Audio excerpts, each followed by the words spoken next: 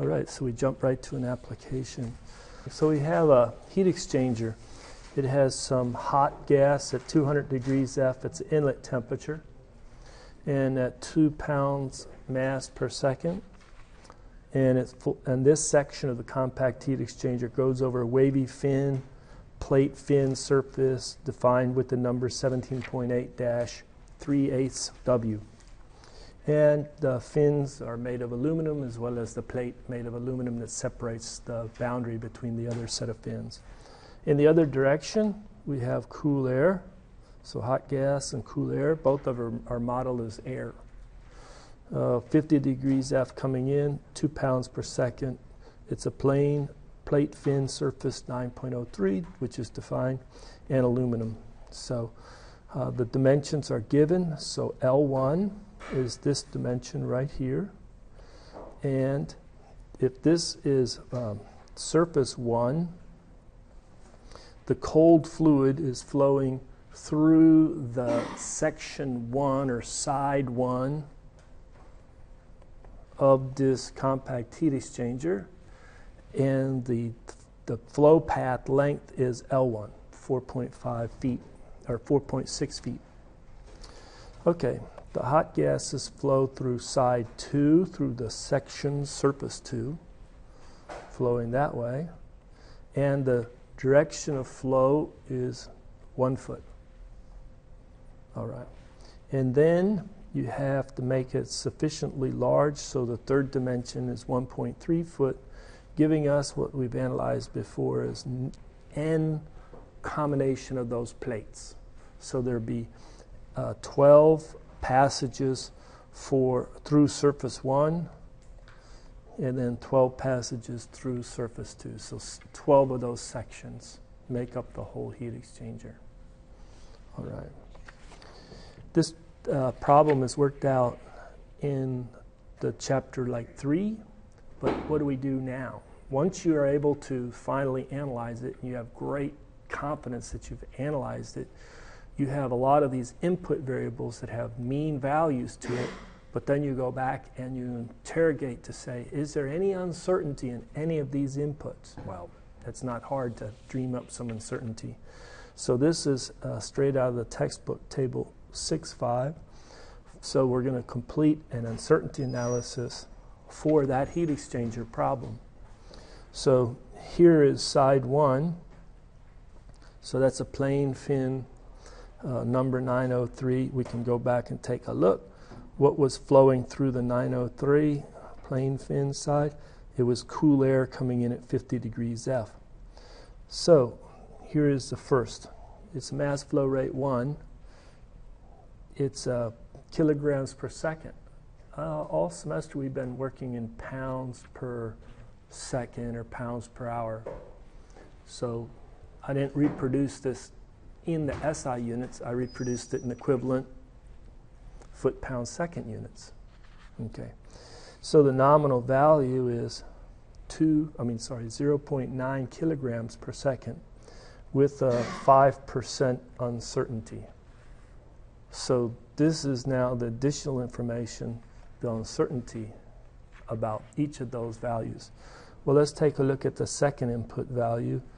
The mean density nominal value 1.13, blah, blah, blah, too many digits, with plus or minus 5% uncertainty. So that's the uncertainty. So um, if you really want to make sure and understand that, what you say is, is you have a range for the mass flow rate, kind of from a low to a high. For the low, take 0.9 multiply it by 0.05, take that and subtract it off of 0.9, or basically it's 0.95 times 0.9. So 0.95 times 0.9, or 1.05 times 0.9. That would be high low. We talked last time, this is 95% capturing the data, 1 and 20 is in the tails. 19 and 20 is, is uh, in that range. Similarly for this mean density. What is this? The inlet density. What is this? The exit density. What is this? The mean viscosity. So this mean viscosity, your fluid properties all have some uncertainty. So looks like uh, 5%, 3%, 10%, 5%. These are picked uh, by the analyst uh, using a lot of judgment, and sometimes uh, there's a reason for it. Like the instrumentation shows a variation or the uncertainty in that property just from not knowing precisely the perfect uh, composition of the fluid, fluid variability. All right. Prandtl number, here, what did they do on this one? They don't give us a percent or fractional uncertainty, they give us a value of that uncertainty. So you can compute that equivalent percent just like we can compute the equivalent uncertainty absolute. All right. Specific heat. What is this? The parting plate spacing, M, that's given with a low uncertainty, 3%. Surface area density, meters squared per meter cubed, given with a 5% uncertainty. The hydraulic diameter, you can see there, okay, for the hydraulic diameter and for that exit density, there's a higher uncertainty for each of those parameters. Well, just for the first side, there's 23. Then there's a bunch for the second side. I don't think I copied the whole table, I truncated it. And it goes down to 50 inputs. So this is more like what you might be accustomed to in practice. Just instead of two or three inputs on the exam, uh, you have the uncertainty propagated through. I got 50 inputs. All right, and they have all uncertainties. Um, near the end of the list, we have some inlet loss coefficients and exit loss coefficients. Those are associated with the pressure drops across that heat exchanger, kind of getting it in and getting it out. Uh, they even have Colburn and friction factor. There's uncertainty in the correlation. So, how do they handle that? Well, one way that they do is, is they'll have a plot of the, uh, the Colburn J factor as a function of Reynolds number. Maybe it does something like that. Here's the Reynolds number going this way. And you get a bunch of data points and then you can put it in and you can linear interpolate such that when I get a Reynolds number, I come in here and I get one and only one J, which is the Colburn heat transfer factor, J factor, right?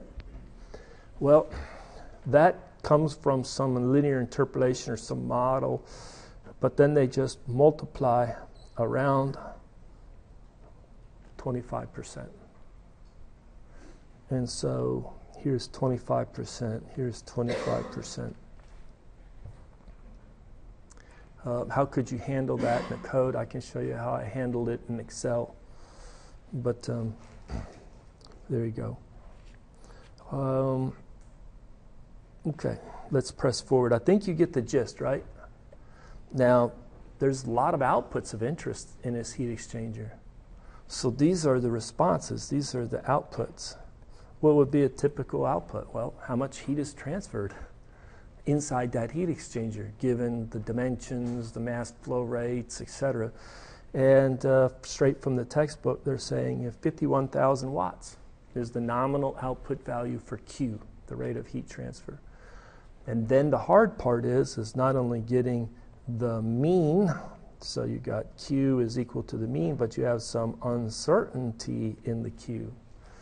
And so it's plus or minus 4,000 watts. Let me ask you this if you have a calculator. Express that, is this a 4,000, is that a fractional or an absolute uncertainty? Absolute. Can you express it as a fractional? About 7.8%. Thumbs up if you agree. Good. Anybody else? Good? Huh? You got it?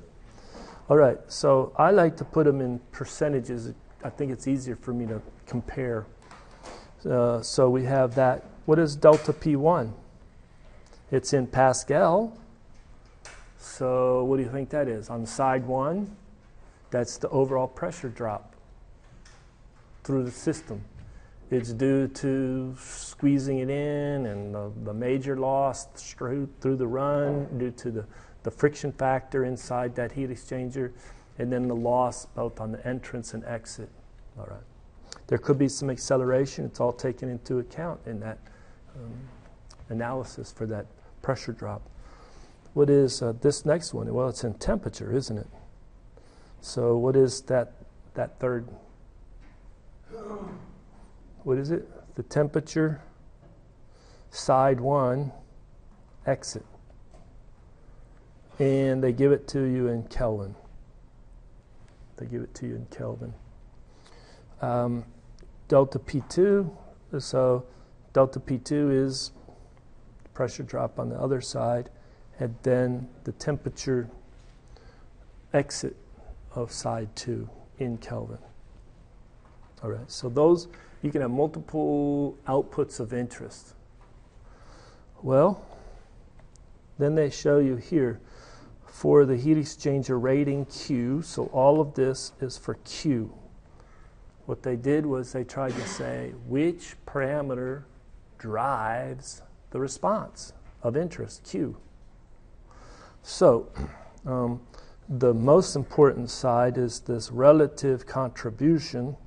So the empty boxes, instead of the normalized sensitivity coefficient, you can look that up. We could have talked about it, but we skipped that part. What you're really interested in is the relative contribution to the uncertainty in Q.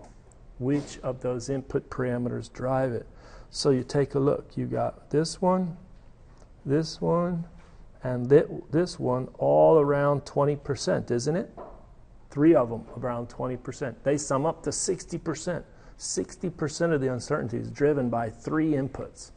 So let's take a look down here. What is this input? Temperature. What is that one? T1 in.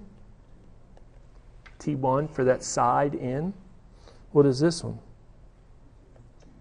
temperature 2 in, temperature for the side 2 in, and this one,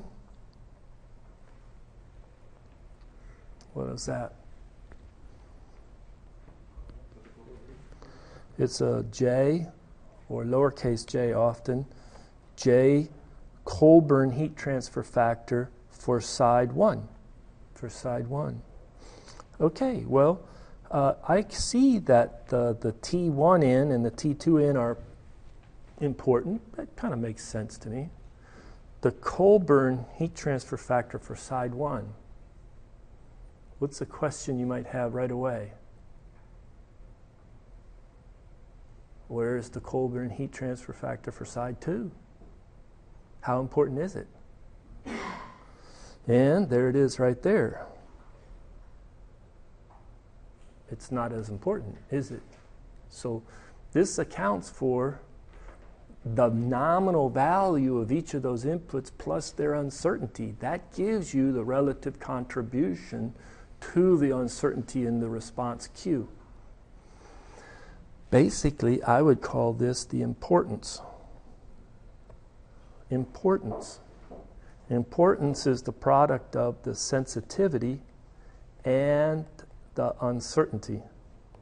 You can't have something that's important in driving the response if the response isn't sensitive to that input. But even if it's sensitive to that input, you also need some uncertainty in that input. And when you have both sensi- model is sensitive to it and you have some uncertainty in it, then it can be a very important driver in the uncertainty in the response. So this really is importance, although very few people would call it importance. They would call it some relative contribution of what? By percentage of what? Well, do you think these all sum up to 100%? Yeah, they do. They sum up to 100%. And so it's normalized contribution to be a normalized importance. Let's take a look at what else is on this list. What would be kind of uh, this one right here and here? What are those two? C sub P, that's the property, specific heat of the gas coming in. And the M means uh, CCP, that's specific heat for the side one, and it's the mean value because that's the mean value that you use throughout the heat exchanger. All right. What about this one? The mass flow rate of the fluid inside one. You say, well, where's the mass flow rate in the fluid inside two? Well, yeah, it's it's as it's important as well, but it's maybe not as strongly important as the side one. Same with the specific heat. So if I did the, the two inlet temperatures, if I did the Colburn heat transfer factor on the side one, ignored side two, and then I did these other four, I pretty well would cover all of it. There's one other that maybe is showing up. It's down in the 4% range. What is this one right here? Hydraulic diameter hydraulic diameter for side one. Okay. That's how you would read this. I, I would ignore this side right here. I would just emphasize the, the importance or relative contribution as a fraction or percentage. Um, what did I do? Well, I'm going to a second jump to the Excel code, but before I jump to the Excel code, this is what I did. I, I, I followed the textbook and tried to put the, the, the, parameters in the same order, all right? But some of them I knew were just not going to be in there, and so why do the expense of coding it up? I hadn't coded it up before for some temperature correction property factors, so I left that out. So I didn't get to quite 50, but I coded them up. So, so I go through 21 associated with side 1, and here they all are, m dot. And we don't have the kilograms per second, we have pounds per second, and that's pretty close. It's like 1.98 instead of 2 if you convert what they had for kilograms per second over. So it's 2, kilogram, 2 pounds per second with the same relative uncertainty 5%, 5%, 3%, 10%. I tried to stay with those. So we just, a lot of these are just directly transferred here. Prandtl number is dimensionless, so boom. And uh, it's around 5%. Specific heat, 0.24, 5%. A lot of these parameters. B is a spacing of the, um, the, uh, the width of that uh, section. Uh, beta is area heat transfer, the volume of the side. Hydraulic diameter is given. And now this parameter shows up to be important. It was like our last one, wasn't it? To be important. Um, but this T inlet, that was, we're going to find that this one shows up to be pretty important. Following the textbook, they specify an absolute um, uncertainty in that temperature. So it's uh, 50 degrees F plus or minus 5.5 degrees F. If you take a look at the textbook, they use it in Kelvin or something, but it's the same amount of uncertainty on an absolute scale. All right. I mean, if you put the 5.5 degrees F and you have 50, then you transfer this to degrees R, Rankine. Uh, does you'll have 460 plus 50. Won't that be 510 plus or minus 5.5 degrees R. So when you switch from Fahrenheit to Rankine, the percent uncertainty changes, but the absolute certainty shouldn't. So avoid sometimes the fractional or relative uncertainty for something like temperature and just specify it as an absolute uncertainty. All right. So we have the mean temperature, uh, that's an input to evaluate some properties. Thermal conductivity, all of these. I even changed this. It didn't matter. Uh, this is what they, I think they used in the book. But even with 10% uncertainty, what you find is analysis is it's a who cares. Even though there's some significant discrepancy in what value should be used, as well as a large uncertainty for it, it, it may not drive the answer. All right. Then that this is how you handle that Colburn uh, uh, uncertainty in it. I have a function that I can go and say, here's my Reynolds number, go and do the interpolation between data points and give me back one value of j. And then I multiply that value of j times 1 plus or minus 0.25. So it'll be 0.75 to 1.25. That's the range. So that gives you the 25% uncertainty in the heat transfer factor. Here's the same for the friction factor. Well, you just keep on going. Didn't get to 50, but we got to 44 val- values. Um, they put two of them as common, not necessarily associated with side one, but are common. What are they? The plate thickness between the two sides, the plate thickness, and they said, we're going to have some fouling on both sides. So it's not unique fouling on one side and fouling on the other. It's fouling on both sides, so it's counted twice in the, in the resistance to heat transfer equation. And um, take a look at the uncertainty in this fouling factor 100%. So the nominal value 0.0023 plus or minus 0.0023 so it's huge, goes from zero up to quite a bit. All right? So now the, the, the thing is, is we want to reproduce in Excel something like that. Okay. Uh, first of all, where's their fouling factor anywhere? Even though it's a huge uncertainty, the model for those other values of the inputs isn't sensitive to the fouling factor. It's more sensitive to other things. Um, so the importance is, is, um, is not showing up for the fouling factor. Well, here are the results that I calculated before I jump into it. Let's just show it to you. So we're familiar with comparing Q as an output. First of all, you got to get your mean value, right? Well, the mean value is 177,508 BTUs per hour, which gives you 52,055 watts. Given that I was not interested in rep- replicating the work exactly, I have my own code, the same code that I used, none of their code. This is pretty good. What was their what was their nominal value for Q? Wasn't it 51,000? Actually, I think it's rigged. I don't even believe myself student would do this, I'd say, ah, no, no, no, no, no. Right? Did I tell you that one story? It's an old story. Anyway, sometimes people just say, What do you want, boss? And then they, okay, I'll give it to you. And it's like, forget about the rigor of the analysis and experimental. Just, whatever you want, I'll give it to you, right? So this almost looks too close, but truly, that's just the way it came out 51,000 versus 52,000. All right.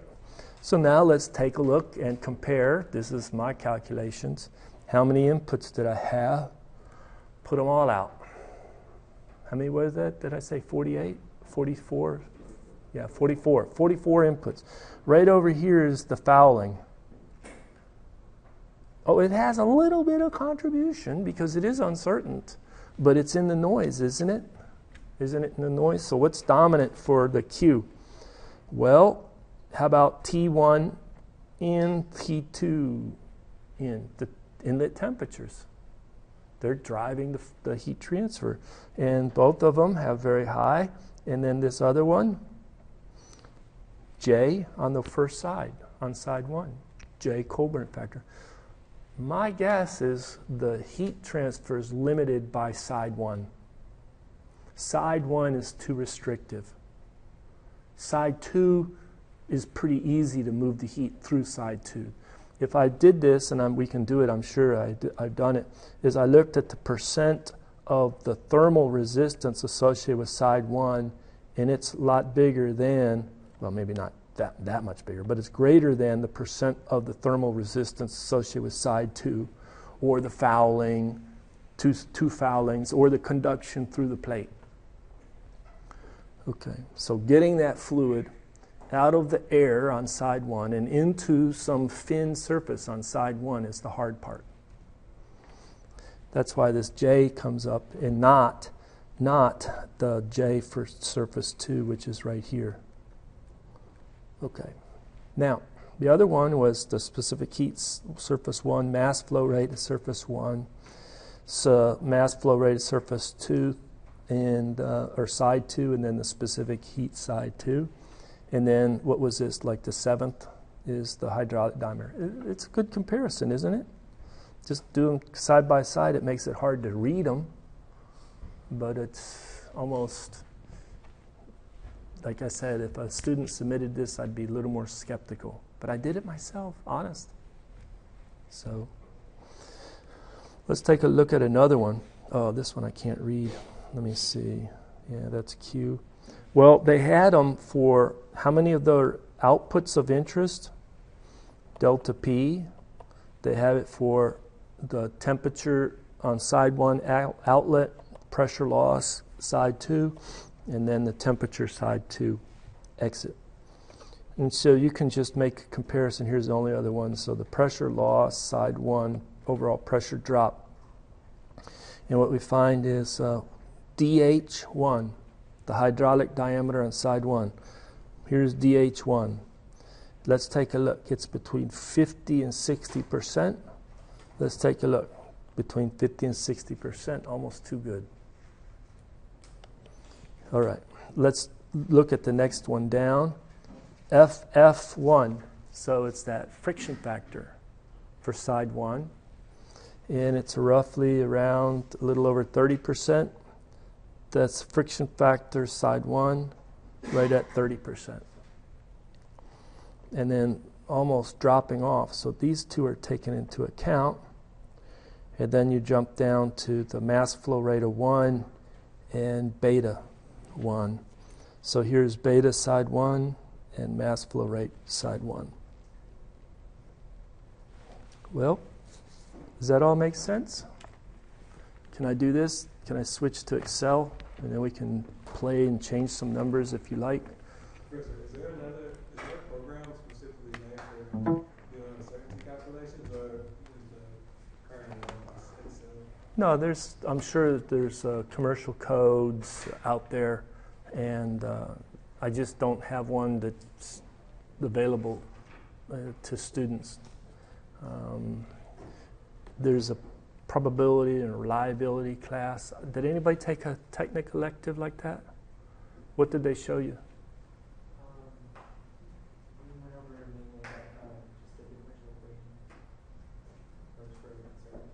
Yeah, but which software was did you use? Which one? Minitab? Yeah, we did Minitab and Excel. Minitab and Excel. Okay, so I've never used Minitab. It sounds like a variation of SAS or something like that. There's so many of these softwares out there that. Uh, uh, so uh, they used to be more.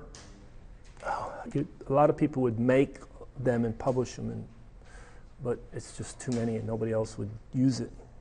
So let's do this. Uh, let's go to Excel. So um, this is a big code. Let me try and give you. Oh, there was one other thing I was going to do for it. I was going to give you a roadmap of the Excel code, just like before. This is my preference. So you have a big, huge sheet. And so up here, you put all of your inputs. And you put the input with the nominal values, so the name and then the value, before you add any uncertainty analysis. you get everything to run in one long, tall, we call that column. And down here, I like to put all the guts of the run, and then I like to bring up some of the key outputs. And I usually leave them down here, but when I decide to bring up an output, I just say copy that cell up. I'm not moving so much. Just maybe so what if it's not so it's efficient in space, but it's efficient in my mind, right? So then I'll have output, output, output, whatever, which ones, and I may want to explore changing an output and explore its impact right now with you. Uh, then once I get the whole system running, where I give it values of all the inputs, how many did we have? 54.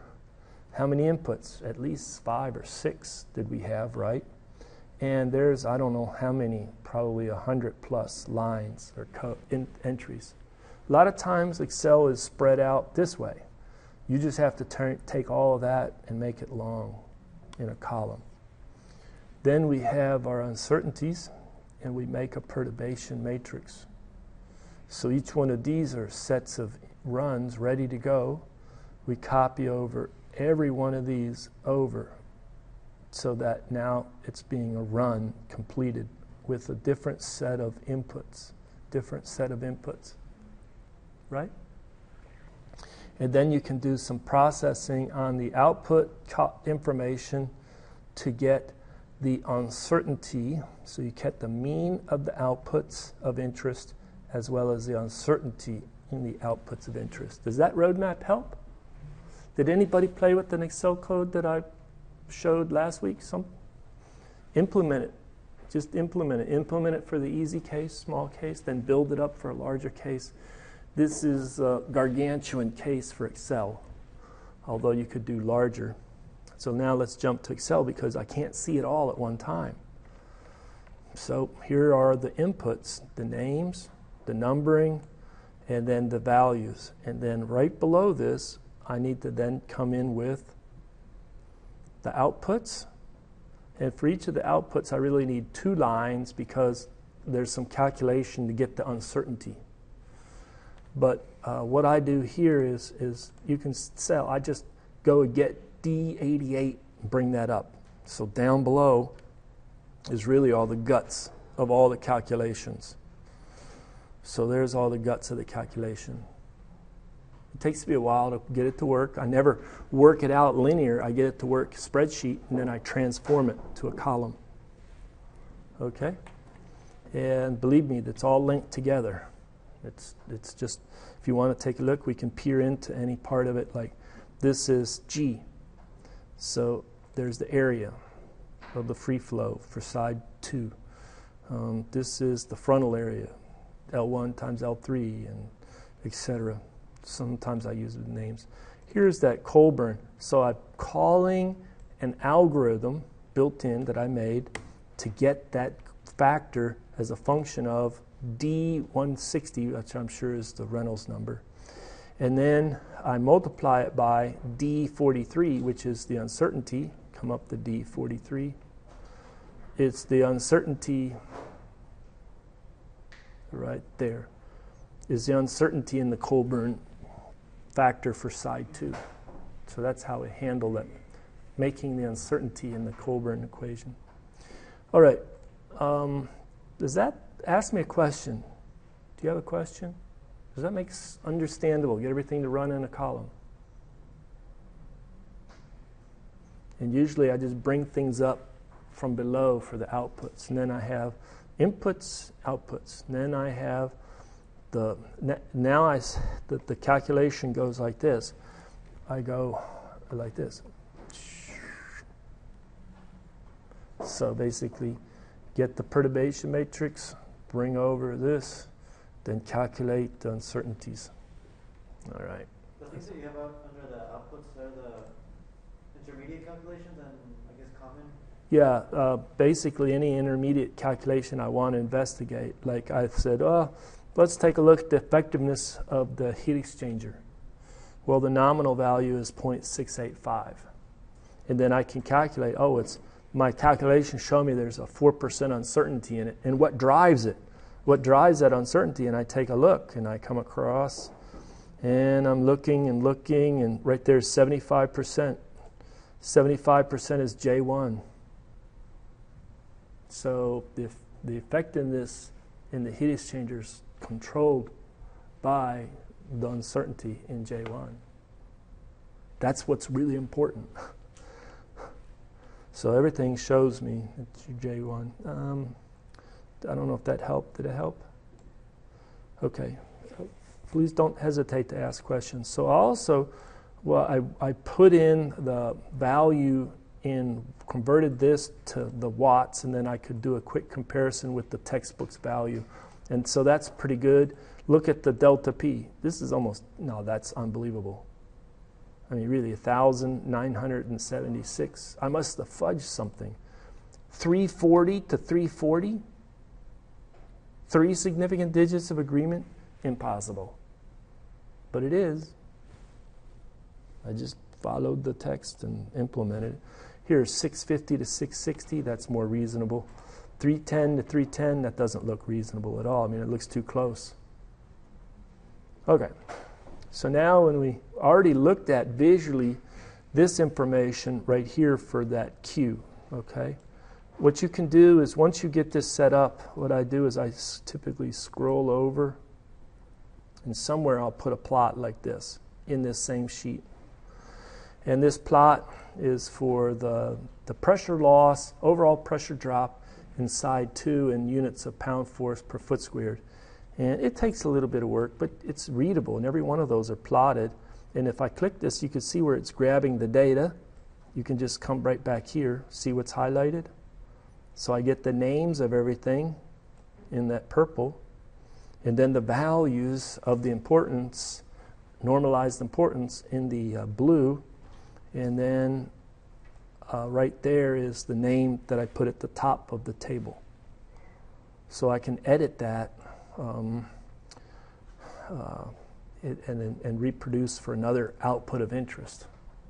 It's not that hard to do. And then you can take, take and uh, interrogate it. Okay? Well, let's do this. Here is for the Q, we already looked at that. There's the pressure loss on side one. There's the exit pressure. Now, this one takes a little more time to interrogate, right? So, the exit temperature for side one, which is the cold side, is 153 degrees F or 340 Kelvin. And uh, it's controlled primarily by J1. Again, J1. On side one, that's restricting the heat transfer. And then T2 in and T1 in, well, that's down here. That's it's like most important, second most important, third, fourth, and fifth are kind of tied. CP2, CP1, and M dot one. And then, uh, oh, this one's tied to the mass flow rate of two. And then this is for the hot. Now, this would be of particular interest for design engineer. You can see the type, hopefully, you can see the type of questions you might be able to answer. And then this is the effectiveness of the heat exchanger, controlled by J1. All right? Well, uh, should I modify this? We could take and do another one if you like. Uh, a lot of these, if you take a look at a lot of these plots, like that R, you would really think is important, isn't it? With such a huge uncertainty, that's that fouling factor. And you come over to the equation, there's the fouling factor. Yes, it's a huge uncertainty. Boom, away it goes. But I think below, I calculated, let me, this is an easy way of doing it. Um, oh, this is one thing I looked at. What's the fraction of the thermal resistance only due to side one? 70%. That's what's restricting the heat transfer. So that's why J1 shows up a lot of time. But if I, it's deep in the bowels, but that's like a lot of codes, right? This is the fraction of the thermal resistance escape due to the conduction through the plates. 0.06%. Throw it out. Throw it out. This is, um, well, I didn't clean it up as best as I could.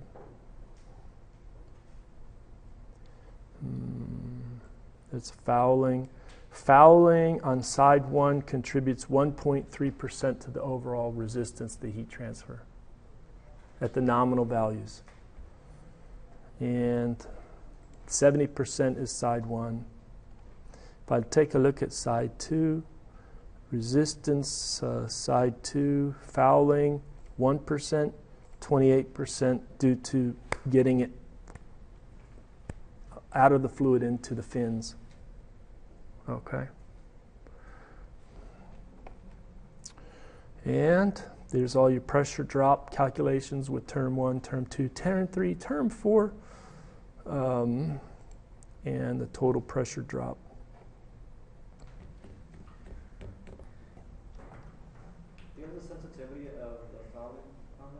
Let's go ahead and do that. This is the input for the fouling. It's 100% uncertainty. And so, how important is it for each of those? If I do this, um, for this, this guy right here, this is the percent importances. And I have to go over here, um, right there. It's 0% foul. This whole column is devoted to uh, the fouling. So for Q, 0. For the next one, 0. For the next one, 0. For the next one, 0. For the next one, 0. For that, for the last one, 2%. 2% for, I think it was effectiveness of the heat exchanger, yeah.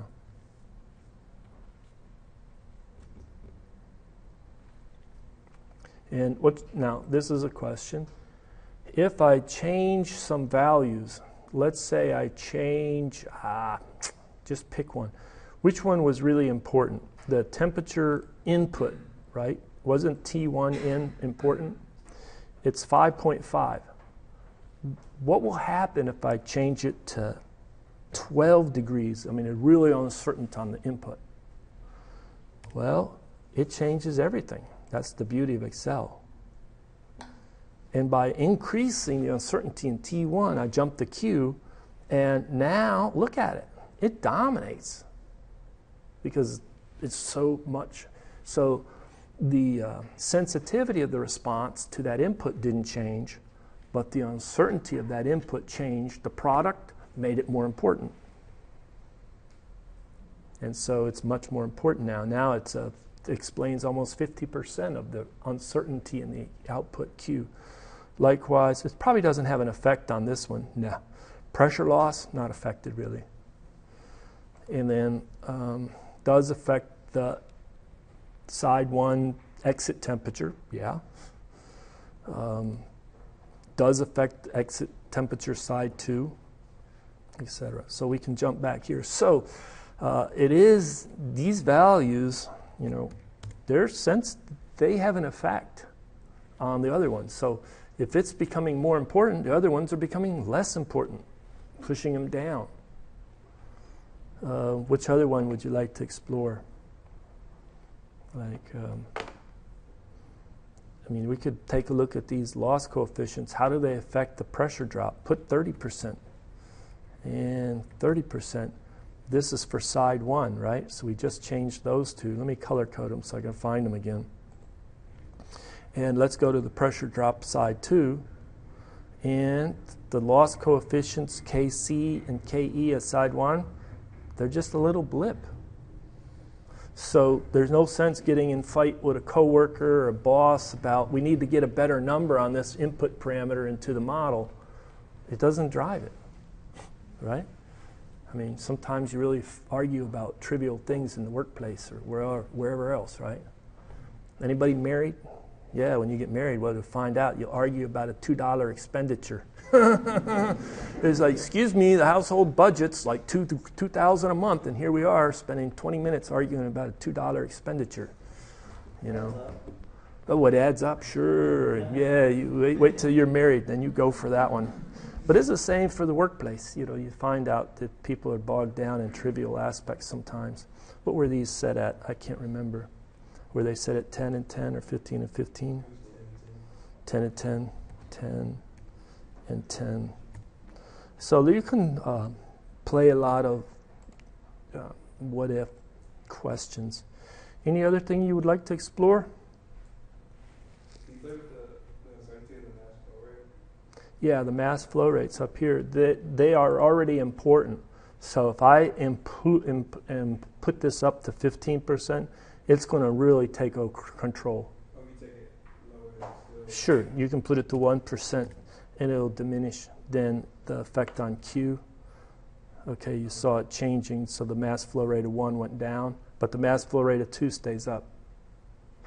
Does the J stays the same if, if you change the mass flow rate? Uh, isn't it dependent on the Reynolds number, so on the mass flow rate? But we're changing the uncertainty, not the magnitude. Now, if you come in here and say not only reduce the uncertainty, leave it at 5%, but now make it 3 kilograms or pounds per second, you just pushed it to a whole different Reynolds number. The pressure drop's going to go way up for that side. The resistance to heat transfer will go down because of the increased convection coefficient stuff. Yeah, but but uh, let's let's go explore.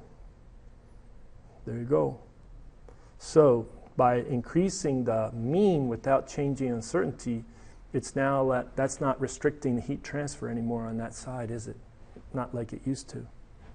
It's now uh, the mass flow rate of 2, the specific heat of 2, the temperature in of 2. Um, I wonder why J2 is not coming up. I would think J2 would come up. Well, what you can do is go back here, and one of the key parameters is G. G is that mass flux. So let's find G on side 1 and G on side 2. Here's G. That's on side 1, okay? So it's almost 4. And then we come down here to G, G, G, G. And you can tell I already was looking at it, 1.17. So we have a quite a, a, a high change in the G. What about the J? Where's the J? Oh, come on now, where's J, J, J? Here it is, J sub H, 0.003, 0.003. Let's look at J on the other side. And we go down here, side 2J, a lot higher. That side has a lot higher J. Okay. So there's so many things you can play, but for this part, conceptually leave the mean values alone, just play with the uncertainties. Then when you become a master of that, go back and play with the mean values as well. But yes, the mean values are important. All right. I'm going to go ahead and stop this then.